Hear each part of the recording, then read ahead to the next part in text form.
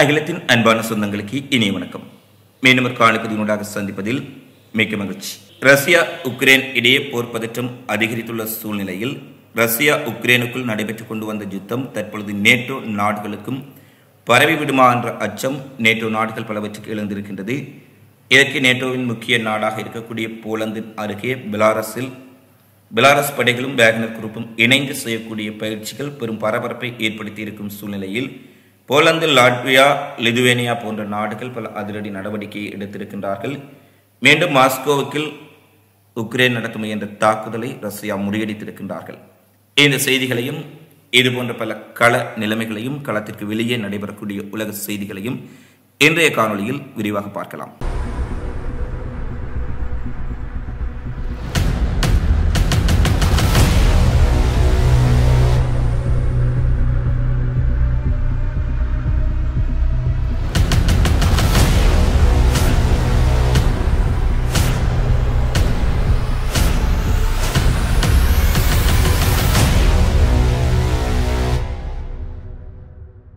ரஷ்யாவில் கிளர்ச்சியில் ஈடுபட்ட வேகனர் படைகள் கிளர்ச்சி தோல்வியடைந்த பின்னர் பெலாரஸுக்கு சென்ற பின்னர் சற்று காலம் அமைதியாக இருந்தார்கள். வேகனர் குரூப் படைகள் குறித்து இந்த செய்தியும் வெளியாகாத நிலையில் மீண்டும் போலந்துக்கு அருகே பெலாரஸ் இராணுவத்தினருடன் இணைந்து பயிற்சிகளை மேற்கொள்வது மட்டுமல்ல பெலாரஸ் இராணுவத்தினருக்கு போலந்து எல்லைக்கு அருகிலேயே தளங்களை அமைத்து பயிற்சிகளை கொடுத்து வந்தார்கள் என்ற செய்திகளை ஏற்கனவே பார்வையிட்டிருந்தோம்.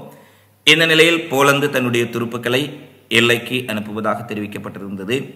நேற்று ஆயிரக்கணக்கான துருப்புக்களை எல்லைக்கு தாங்கள் அனுப்பப் போவதாக போலந்து தெரிவித்திருக்கும் சூழ்நிலையில் இன்றைய தினம் ஏற்கனவே ஆயிரம் துருப்புக்களை அனுப்புவதாக அறிவித்த போலந்து அதை இரண்டு மடங்காக இரண்டாயிரம் துருப்புக்களை பெலாரஸ் எல்லைக்கு அனுப்புவதாக அறிவித்திருக்கின்றார்கள்.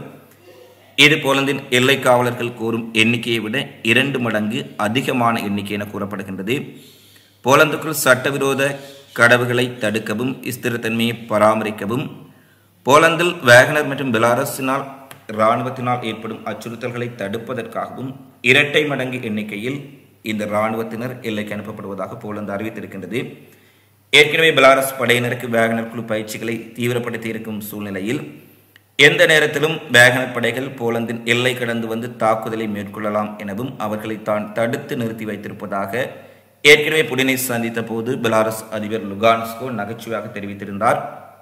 அவர் நகைச்சுவையாக தெரிவித்திருந்த போதிலும் பெலாரஸ் படைகளும் பேகன படைகளும் இணைந்து போலந்தின் அருகே தொடர்ச்சியாக இராணுவ பயிற்சிகளை மேற்கொண்டிருப்பது குறிப்பிடத்தக்க விடயமாக இருக்கின்றது. இது போலந்துக்கு பெரும் அச்சுறுத்தலை ஏற்படுத்துவதாக போலந்து தெரிவித்திருப்பதுடன் கிழக்கு நேட்டோவுக்கும் இது மிகப்பெரிய அச்சுறுத்தல் என்ற ஒரு செய்தியை வெளியிட்டிருக்கின்றார்கள். எனவே போலந்து ஏற்கனவே படைகளை குவித்திருக்கும் சூழ்நிலையில் மீண்டும் இரண்டாயிரம் துருப்புக்கள் எல்லைக்கு அனுப்பப்பட்டிருக்கின்றார்கள். போலந்து ஒருபுறம் வேகனர் பெலாரஸ் படைகளினுடைய அச்சம் காரணமாக இந்த நடவடிக்கைகளை எடுத்திருக்கும் சூழ்நிலையில் லாட்வியா லிதுவேனியா போன்ற நாடுகளும் எல்லை பாதுகாப்பை பலப்படுத்தி இருப்பதாக அறிவித்திருக்கின்றார்கள். பெலாரஸ் மற்றும் வேகனர் படைகளின் அச்சுறுத்தலை இணைந்து எதிர்கொள்வதற்காக லாட்வியா லிதுவேனியா போலந்து போன்ற நாடுகள் இணைந்து செயற்பட வேண்டிய நேரம் இதுவெனவும் தாங்கள் தங்களுடைய எல்லைகளை வலுப்படுத்துவதில் மூலோபாய ரீதியில் இணைந்து பொறிமுறைகளை கட்டமைக்கப் போகின்றோம் என நேற்று எல்லைக்கு விஜயம் செய்திருக்கக்கூடிய லாட்விய ஜனாதிபதி எட்கஸ் ரிங்ஹெவிக்ஸ் தெரிவித்திருக்கின்றார். எல்லையை மேம்படுத்துவதற்கும் முதலீடு செய்வதற்கும் எங்களுக்கு நிறைய வேலைகள் உள்ளன. ஆனால் இதுவரை குறிப்பிடத்தக்க முன்னேற்றங்களை நாங்கள் செய்திருக்கின்றோம். எல்லைகளில் பாதுகாப்பை பலப்படுத்தி இருக்கின்றோம் கண்காணிப்பு கேமராக்களை வைத்திருக்கின்றோம். எல்லையை தொடர்ச்சியாக கண்காணிப்பதற்காக எல்லையில் இருக்கக்கூடிய எங்களுடைய நட்பு நாடுகளுடன் இணைந்து பெலாரஸ் வேகனர்களுடைய அச்சுறுத்தலை சமாளிப்பது தொடர்பாக சந்திப்புகளை ஏற்படுத்தி இருக்கின்றோம். இந்த ஆண்டு தொடக்கத்தில் இருந்து ஐயாயிரத்தி இருநூற்றி எண்பத்தி ஐந்து பேர் பெலாரஸில் இருந்து சட்டவிரோதமாக எங்களுடைய நாட்டுக்குள் கடக்க முயன்றதை அடுத்து லாட்வியாவின் கிழக்கு எல்லையிலும் கண்காணிப்பு முடுக்கிவிடப்பட்டிருப்பதாக அந்த நாடு தெரிவித்திருக்கின்றது. பெலாரஸ் மற்றும் அதன் அண்டை நாடுகளுக்கிடையே பதற்றம் அதிகரித்துள்ளதால் நேட்டோ நாடுகளுக்கு இடம்பெற முயற்சிப்பவர்களின் எண்ணிக்கையும் என்றுமில்லாத வகையில் அதிகரித்திருப்பதாக அந்த பிரதேச நேட்டோ நாடுகள் தெரிவித்திருக்கின்றன.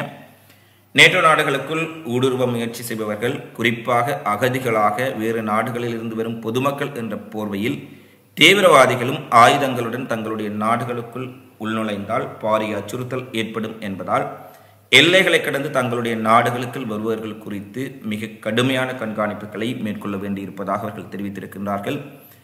ஏற்கனவே வேகன படைகள் பல்வேறுபட்ட நாடுகளில் செயற்பட்டு வருவதாகவும் அவர்கள் நேட்டோவின் இந்த நாடுகளுக்குள் ஊடுருவிவிட்டால் அவர்களுடைய நடவடிக்கைகளை தடுப்பதற்கு நாம் ஆரம்பத்திலேயே தயாராக இருக்க வேண்டும் என்ற அறிவிப்பை தற்பொழுது போலந்து லாட்வியா லிதுவேனியா போன்ற நாடுகள் இணைந்து வெளியிட்டிருக்கின்றார்கள். வேகனரை எதிர்கொள்வதற்கு தாங்கள் விரைவில் இணைந்து ஒரு பொறிமுறை கட்டமைப்பை உருவாக்கப் போகின்றோம் என்ற அறிவிப்பையும் அவர்கள் வெளியிட்டிருக்கின்றார்கள். வேகனர் படைகளின் அச்சம் பெலாரஸ் இராணுவத்தினுடைய அச்சம் காரணமாக நேட்டோ நாடுகளான போலந்து லிதுவேனியா லாட்வியா போன்ற நாடுகள் எல்லைகளில் பல தடுப்பு நடவடிக்கைகள் கண்காணிப்புகளை அதிகரிக்கப்படுத்தி இருக்கும் இந்த சூழ்நிலையில் மேற்கு எல்லைகளில் தங்களுடைய படைகளையும் பலப்படுத்துவதாக ரஷ்யா அறிவித்திருக்கின்றது. ரஷ்ய பாதுகாப்பு அமைச்சர் செர் சொய்கு மேற்கு எல்லைகளில் எங்கள் படைகளை பலப்படுத்துவதுடன் அங்கு இராணுவம் உரிய வகையில் கட்டமைக்கப்படும் என்ற அறிவிப்பை வெளியிட்டிருக்கின்றார். போலந்து ஏற்கனவே தனது இராணுவத்தை வலுப்படுத்தும் திட்டங்களை அறிவித்த பின்னர் லிதுவேனியாவின் லாட்வியாவும் பெலாரஸுடனான தங்கள் எல்லைகளை வலுப்படுத்துவதாக தெரிவித்துள்ளன. அது மட்டுமல்ல நேட்டோவும் பெலாரஸ் எல்லையில் ஏற்படுத்தும் அச்சுறுத்தல்களை எதிர்கொள்வதற்காக தமது உதவிகள் தேவைப்பட்டால் நேட்டோ படைகளும் அங்கு செல்லும் எனவும் ஏற்கனவே ஜெர்மனி பல நாடுகள் அறிவித்திருக்கும் சூழ்நிலையில் தங்கள் எல்லைகளையும் வலுப்படுத்தி ரஷ்யாவினுடைய இறையாண்மையை பாதுகாக்க வேண்டியது தங்கள் கடமைப்பாடு என சிர்சோகி மேலும் தெரிவித்திருக்கின்றார். ஏற்கனவே நேட்டோ ராணுவ கூட்டணியில் இணைந்த பின்லாந்திலும் குறிப்பிடத்தக்க நேட்டோ படைகள் மற்றும் ஆயுதங்கள் நிலைநிறுத்தப்படும் என்று தான் எதிர்பார்ப்பதாக சொய்கு மேலும் தெரிவித்துள்ளார். ரஷ்யாவின் மேற்கில் Norway Finland Estonia Lithuania Poland Belarus Ukraine Georgia Azerbaijan போன்ற பல நாடுகளில் என்றுமில்லாதவாறு ரஷ்யாவுக்கு எதிரான செயற்பாடுகள் அதிகரித்திருக்கின்றன. எனவே மேற்கில் இருக்கக்கூடிய பல நாடுகள் ஒன்றிணைந்து ரஷ்யாவுக்கு எதிரான போக்கில் செயற்படுவதால் ரஷ்யாவின் எல்லைகளை பாதுகாப்பதற்கும் ரஷ்யாவினுடைய இறையாண்மையை பாதுகாப்பதற்காகவும் மேற்கு எல்லைகளில் ரஷ்ய இராணுவ துருப்புகளின் எண்ணிக்கை அதிகரிக்கப்படுவது மட்டுமல்ல ரஷ்ய இராணுவம் அங்கு பலமான முறையில் கட்டமைக்கப்படும் என்ற செய்தி செர்சொய்கி அவர்களால் வெளியிடப்பட்டிருக்கின்றது.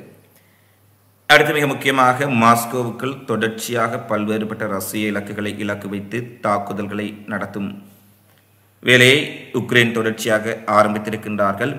மாஸ்கோவுக்குள்ளும் குறிப்பாக ரஷ்ய எல்லைப் பகுதியிலும் தொடர்ச்சியாக தாக்குதலை நடத்தி வரும் உக்ரைன் மீண்டும் இரண்டு ட்ரோன்களை ஒரே இரவில் ரஷ்யா மீது தாக்குதல் நடத்த அனுப்பியதாகவும் மாஸ்கோ பிராந்தியத்தில் ஆளில்லா வான்வெளி ட்ரோன்கள் மூலம் பயங்கரவாத தாக்குதலை நடத்த ஏற்பட்ட முயற்சி தடுக்கப்பட்டது என ரஷ்ய பாதுகாப்பு அமைச்சகம் தெரிவித்திருப்பதுடன் உக்ரைனினுடைய இரண்டு ட்ரோன்களும் வான் பாதுகாப்பு அமைப்புகளால் சுட்டு வீழ்த்தப்பட்டிருக்கின்றன என்ற செய்தியை வெளியிட்டிருக்கின்றார்கள்.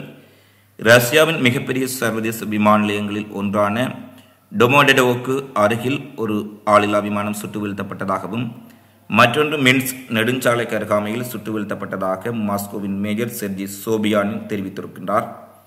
ட்ரோன்கள் எங்கிருந்து ஏவப்பட்டன என்பது தெளிவாக தெரியவில்லை என்றாலும் உக்ரைன் தான் இந்த வேலையை செய்திருக்கின்றார்கள் என ரஷ்ய பாதுகாப்பு அமைச்சகம் குற்றச்சாட்டுகளை மேற்கொண்டிருக்கின்றார்கள். உக்ரைனிய அதிகாரிகள் இது தொடர்பில் எந்த உடனடி கருத்தையும் வெளியிடவில்லை என்பது குறிப்பிடத்தக்கது. அண்மைய சில நாட்களாகவே மாஸ்கோவுக்குள்ளும் ரஷ்யாவின் கட்டுப்பாட்டில் இருக்கும் கிரிமியாவுக்குள்ளும் ஆளில்லா ட்ரோன் தாக்குதலை உக்ரைன் தீவிரப்படுத்தி இருப்பது மேலும் இந்த யுத்தத்தை சிக்கலாக்கி இருக்கின்றது அடுத்து ரஷ்யாவுக்கு எதிராக கவுண்டர் அட்டாக் ஆரம்பித்திருக்கக்கூடிய உக்ரைனிய படைகள் பெரிய அளவில் வெற்றிகளை பெற்றுக்கொள்ளாவிட்டாலும் கூட ஒரு சில இடங்களில் சில பகுதிகளில் முன்னேற்றம் அடைந்திருப்பதாக உக்ரைன் தெரிவித்திருந்தார்கள். இந்த நிலைமையில் தங்களுடைய கவுண்டர் அட்டாக் நடைபெறக்கூடிய கிழக்கில் நிலைமை மிக மோசமாக இருக்கின்றது மிக சிக்கலாக இருக்கின்றது என உக்ரைனின் பிரதி பாதுகாப்பு அமைச்சர் ஹன்னா மாலியர் தெரிவித்திருக்கின்றார். ரஷ்ய படைகள் குபியான்ஸ்க் திசையில் ஊடுருவ முயற்சிப்பதால் நாட்டின் கிழக்கில் நிலைமை மிக நெருக்கடியாக இருக்கின்றது. குபியான்ஸ்க் திசையில் உள்ள எதிரிகளின் குறிக்கோள் எங்கள் துருப்புகளின் பாதுகாப்பை உடை தெரிந்து கொண்டு நேரடியாக குபியான்ஸுக்கு செல்வதாகும். நாங்கள் பல்வேறுபட்ட வகைகளில் அவர்களுடைய தாக்குதலை முறியடித்து வருகின்றோம். அவர்கள் ஆட்லரி செல்வீச்சுக்கள் மற்றும் ஏவுகணை தாக்குதல்களை தீவிரப்படுத்தி இருக்கின்றார்கள். சில இடங்களில் ஒரு நாளைக்கு பல முறை நிலை மாற்றங்கள் ஏற்பட்டு கொண்டிருக்கின்றன. அதாவது சில நேரங்களில் ரஷ்ய படைகளும் பின்னர் உக்ரைனிய படைகளும் மாறி மாறி சில இடங்களை தக்க வைத்துக் கொண்டிருக்கின்றார்கள் என்பதை அவர்கள் அவ்வாறு குறிப்பிட்டிருக்கின்றார்கள். எனவே பக்முட்டிலும் அதே போன்று மிக கடுமையான சண்டை நடைபெற்றுக் கொண்டிருந்தாலும் கூட உக்ரைனிய படைகள் தங்கள் தாக்குதலை தொடர்ந்து கொண்டிருப்பதாகவும் தாங்கள் கைப்பற்றிய அடையப்பட்ட எல்லைகளில் நிலைநிறுத்துவதிலும் அந்த எல்லைகளை விட்டு பின்வாங்காமல் இருப்பதற்கும் தீவிர முயற்சிகளை அங்கே உக்ரைன் படைகள் மேற்கொண்டிருப்பதாக கண்ணா மாளிகர் தெரிவித்திருக்கின்றார்.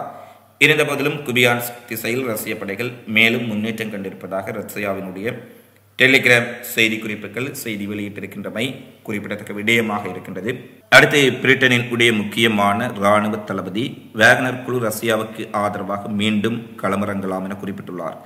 உக்ரைன் எல்லையிலிருந்து சுமார் பதினைந்து மைல் இருபத்தி நான்கு புள்ளி ஒன்று நான்கு கிலோமீட்டர் தொலைவில் உள்ள பெலாரஸில் ஜியாப்ரோகா விமான நிலையத்தில் சுமார் ஆயிரம் வேகன படைகளை தங்க வைப்பதற்கான கூடாரங்கள் அமைக்கப்பட்டிருப்பதை செய்மதி புகைப்படங்கள் உறுதிப்படுத்தி இருக்கின்றன இந்த நிலையில் உக்ரைனிய தேசிய எதிர்ப்பு மையம் செர்னிகுப் பகுதியில் நாசகார நடவடிக்கைகளை மேற்கொள்வதற்காக இந்த கூடாரத்தை வேகனர் படைகள் பயன்படுத்தலாம் எனவும் தற்பொழுது மீண்டும் ரஷ்யாவுக்கு ஆதரவாக செயற்படவும் ரஷ்ய அதிபர் புடினுடன் இணைந்து பல்வேறுபட்ட வேலைகளை செய்வதற்கும் இவர்கள் தயாராகிக் கொண்டிருப்பதாக உக்ரைன் குற்றச்சாட்டுக்களை முன்வைத்த சூழ்நிலையில் பிரிட்டன் தளபதி அவர்களும் ரஷ்யாவுக்கு ஆதரவாக மீண்டும் உக்ரைன் மீது வேகனர் படைகள் தாக்குதலை நடத்தலாம் என்ற ஒரு செய்தியை வெளியிட்டிருக்கின்றார்கள். அடுத்து ஜெர்மனியின் ட்ரெயின் மெட்டால் நிறுவனம் உக்ரைனுக்கு மீண்டும் முப்பது போர் டேங்குகளை லெபார்ட் டேங்குகளை வழங்க இருப்பதாக அறிவித்திருக்கின்றார்கள். ஜெர்மனியின் பாதுகாப்பு நிறுவனமான ட்ரெயின் மெட்டால் பெல்ஜியத்திடம் இருந்து பயன்படுத்தப்படாத ட்ரெயின் மெட்டால் டசின் கணக்கான லெபார்ட் ஒன் டேங்குகளை வாங்கியுள்ளதாகவும் அவற்றை நவீனமயப்படுத்தி அதை தாங்கள் உக்ரைனுக்கு வழங்கப் போகின்றோம் எனவும் அடுத்த ஆறு மாதங்களுக்குள் பழுது பார்க்கப்பட்ட சில டேங்கிகளை உக்ரைனுக்கு அனுப்ப முடியும் என்றும் பெல்ஜியத்திடம் இருந்து டைன்மெட்டால் டசன் கணக்கான பாவனையில் இல்லாத டேங்கிகளை வாங்கியிருப்பதாகவும் அந்த நிறுவனம் அறிவித்திருக்கின்றது. ஏற்கனவே உக்ரைனில் பயன்படுத்தப்படும் பல மேற்குலகினுடைய ஆயுதங்கள் பயன்படுத்த முடியாதவை அல்லது போர்க்களத்துக்கு பொருத்தமற்றவை என பல குற்றச்சாட்டுக்கள் வெளியாக இருக்கும் சூழ்நிலையில் மீண்டும் கைவிடப்பட்ட டேங்கிகளை புனர் அமைத்து அல்லது சீர்திருத்தம் செய்து உக்ரைனுக்கு வழங்குவது அவர்களுக்கு எவ்வளவு தூரம்? போர்க்களத்தில் உதவும் என்ற கேள்விகளையும் தற்பொழுது எழுப்பியிருக்கின்றமை குறிப்பிடத்தக்கது. இருந்தபோதிலும் ஜெர்மனியினுடைய பாதுகாப்புத்துறை இது தொடர்பாக உத்தியோக செய்திகளை வெளியிடாத நிலையில் ட்ரெயின் மெட்டால் நிறுவனம் முப்பது டேங்குகளை தாம் திருத்தி வழங்கப் போகின்றோம் என்ற ஒரு அறிவிப்பை வெளியிட்டிருக்கின்றார்கள். அடுத்து மாஸ்கோவின் வடகிழக்கில் உள்ள தொழிற்சாலை ஒன்றில் ஏற்பட்ட வெடிவிபத்தில் காயமடைந்தவர்களின் எண்ணிக்கை நாற்பத்தி ஐந்தாக உயர்வடைந்திருக்கின்றது. ரஷ்யாவில் உள்ள ஒளியியல் மற்றும் ஒளியியல் எலக்ட்ரானிக் தொழிற்சாலையில் ஏற்பட்ட வெடிவிபத்தில் குறைந்தது நாற்பத்தி ஐந்து பேர் காயமடைந்துள்ளதாக உள்ளூர் அதிகாரிகள் தெரிவித்துள்ளார்கள். மாநில செய்தி நிறுவனமான ரஷ்ய டேஸ் செய்தி நிறுவனம் வெடிவிபத்து வெடித்திருப்பது பைரோ டெக்னிக் கருவிகளை கொண்ட கிடங்கில் ஏற்பட்டதாக ஆரம்பகட்ட விசாரணைகளில் தெரிய வந்திருந்தது இருபத்தி மூன்று பேர் மருத்துவமனையில் அனுமதிக்கப்பட்டுள்ளார்கள். இதில் ஆறு பேர் தீவிர சிகிச்சை பிரிவில் கவலைக்கிடமாக உள்ளதாகவும் செர்கிவ் பேசாட் மேயர் அலுவலகம் தெரிவித்துள்ளது. உக்ரைனிய ட்ரோன் தாக்குதலால் அல்லது குண்டு வெடிப்புகளால் இந்த வெடிப்பு ஏற்பட்டதற்கான ஆதாரங்கள் இதுவரை கிடைக்கவில்லை என அவர்கள் தெரிவித்திருப்பதுடன் இந்த குண்டுவெடிப்புக்கான காரணம் என்ன என்பது தொடர்பில் தாம் ஆராய்ந்து கொண்டிருப்பதாக தெரிவித்திருக்கின்றார்கள். இந்த நிலையில் உக்ரைனின் உடைய வேலை காரணமாக ட்ரோன் தாக்குதல் அல்லது குண்டுவெடிப்பு காரணமாக இந்த விபத்து நடைபெற்றிருக்கலாமா என சுயாதீன ஊடகங்கள் பலவும் செய்தியும் எழுப்பியிருக்கின்றார்கள். இந்த ரசாயன ஆலை இருந்த இடத்தில் மூன்றாவது நிறுவனத்தால் வாடகைக்கு எடுக்கப்பட்ட பைரோடெக்னிக்ஸ் கிடங்குதான் வெடித்துள்ளதாக ரஷ்யா தெரிவித்துள்ளதுடன் நகரின் பல்வேறு பகுதிகளில் உள்ள பல வீடுகளில் குண்டுவெடிப்பின் அதிர்வு காரணமாக ஜன்னல்கள் உடைந்து விழுந்திருப்பதாக மேலும் செய்திகள் வெளியாக இருக்கின்றன.